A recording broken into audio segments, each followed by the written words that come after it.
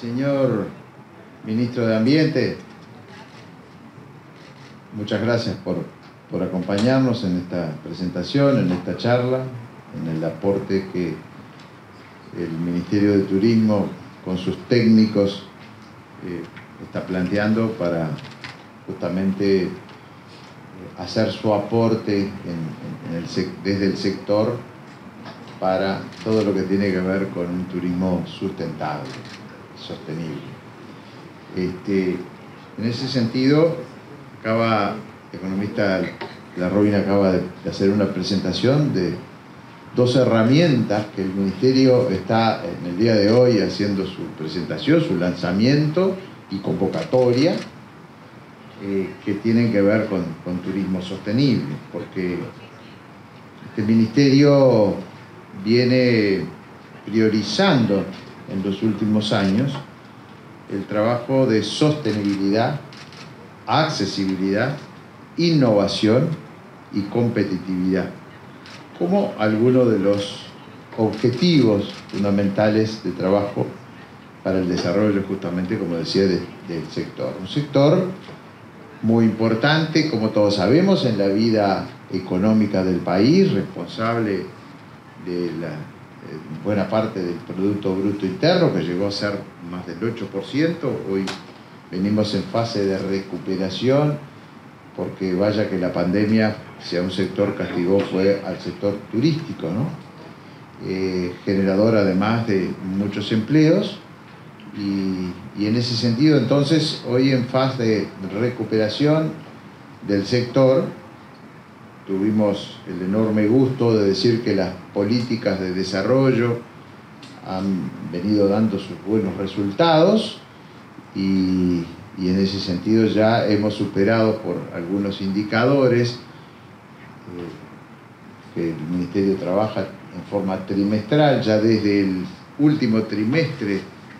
del año 2022, pero confirmado en el primer trimestre del año 2023, podemos decir que el sector se ha recuperado y que hemos superado el, año, el último año prepandemia, o sea, el 2019, en materia de número de visitantes y también se viene recuperando en cuanto al gasto. Lo mismo podemos decir del movimiento interno, o sea, el turismo interno, que es medido por la movilidad a través de los datos que nos brinda la telefonía celular, mm, bueno, damos cuenta de que eh, hemos crecido un 30% en estos últimos periodos en cuanto a la movilidad interna. Precisamente, como, como suele pasar, que las crisis también aportan oportunidades, en el periodo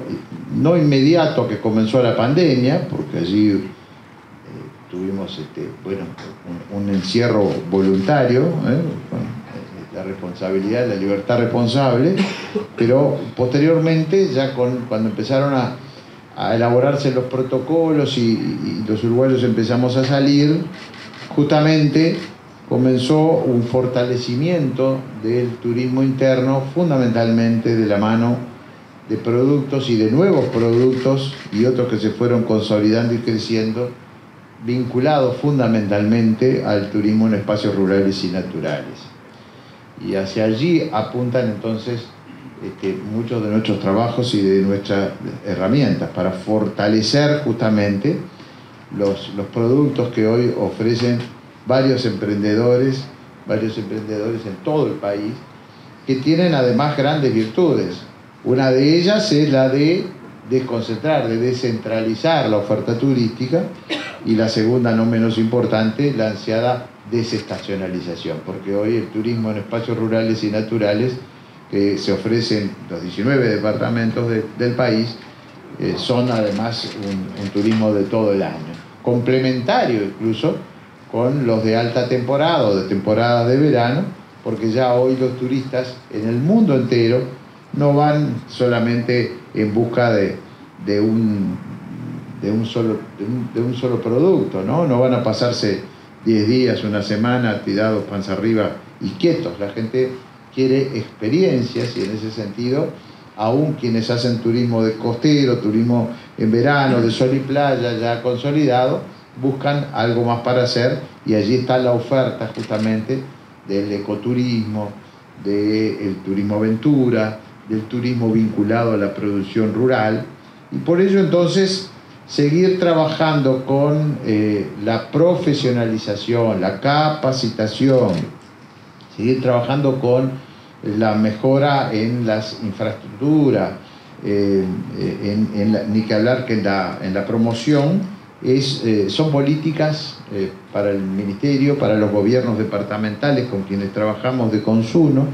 con el trabajo que hacemos interinstitucional, y recién lo decía Karina, todo el trabajo y la elaboración de este sello verde tiene la mano, obviamente, de otros ministerios, como el Ministerio de Ambiente, este, eh, bueno, el trabajo interinstitucional unido a la imprescindible fuerza mm, motor de eh, la oferta privada, porque en definitiva, al fin y al cabo, son los privados, aún en esos micros emprendimientos, en esas mujeres rurales que tanto han trabajado y producen realmente productos eh, novedosos vinculados a la producción y, rural, realmente este, son eh, lo que vienen afirmando ese turismo interno y también el turismo receptivo de alguna medida como complemento de otra oferta que tiene también el país. Eh, por eso, el, el sello verde, yo reitero y destaco, eh, tiene como principales atributos tres grandes ejes temáticos, la calidad turística, las buenas prácticas ambientales y sociales y los referidos a la eh, mitigación y adaptación del cambio climático. Y entonces este, lograr este, que las empresas que hoy buscan certificaciones, hasta unos por, propia concientización y otros porque hoy también comercialmente eh, creo que ya este, eh, el público, sobre todo el público más joven, los, niños, este, rápidamente son los primeros y grandes defensores de todas estas políticas ambientales y se han concientizado de lo que el problema del cambio climático y evidentemente, así como otros programas que también desarrolla el Ministerio, que tiene que ver también con protección social, con este, atención a problemáticas sociales, como son los programas de este, prevención de explotación sexual de niños y niñas y adolescentes, que en el sector turístico es un tema a estar siempre muy bien pendientes, y también desarrollamos allí programas que logran certificarse. La certificación este, le da un valor extra a la oferta turística aún para desde el punto de vista comercial de, los emprendimientos turísticos. Este, así que bueno, establecida la meta ¿eh? de llegar al menos al 4% de los establecimientos para el eh, año 2025, eh, empezamos a trabajar conjuntamente con el Ministerio de Ambiente, conjuntamente con los gobiernos departamentales, y agradezco a los que están presentes hoy, este, y fundamentalmente a través de los operadores privados. Y el fondo concursable, que también en el día de hoy estamos eh, convocando y lanzando, y que tiene que ver con este, el desarrollo justamente del turismo en estos espacios rurales y naturales, básicamente dirigido al ecoturismo y al turismo aventura, al turismo ecuestre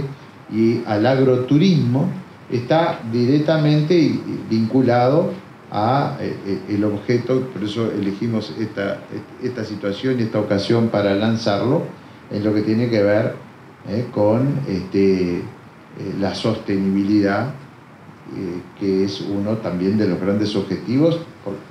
planteados por la propia Organización Mundial del Turismo, a la cual adhiere, por supuesto, Uruguay. Así que este, tenemos el enorme placer, a partir de la semana que viene, en nuestra web está disponible eh, todos los detalles de esta convocatoria y la posibilidad de inscribirnos. Así que muchísimas gracias por la atención. Felicitaciones, señor ministro, por el éxito de, esta exposición que realmente está saliendo muy bien. Felicitaciones. Un gusto que estén por acá como anfitrión. Muchas gracias, señor ministro por la colaboración que nos da cuando le llevamos el proyecto de esta expo y estuvo dispuesto a colaborar con nosotros. Y por la colaboración que nos da con este, con este acto, porque esto es lo que hace que todos nos involucremos en esto que yo digo que es algo raro en este país, pero que nos crea mucho valor. Y es que la actividad productiva, la actividad industrial, la actividad turística, todos y ambiente estamos trabajando juntos. Y es muy importante. En otros países la situación es antagónica. Parece que ambiente no puede trabajar con producción, que ambiente no puede trabajar con turismo, porque parece que ambiente es un palo en la rueda. Se interpreta en muchos lados que tenemos ponemos un palo en la rueda con esto. Acá en Uruguay es distinto. Acá estamos trabajando juntos, acá tenemos un poder ejecutivo que priorizó ambiente, que creó el Ministerio de Ambiente, que dio una jerarquía de las políticas ambientales a la misma altura que las demás, y eso indudablemente es una señal muy clara de lo importante que es para el gobierno el tema ambiental. Así que nuevamente muchas gracias señor ministro, muchas gracias a ustedes por estar y los invito a disfrutar de esta Expo Uruguay Sostenible 2023. Muchas gracias.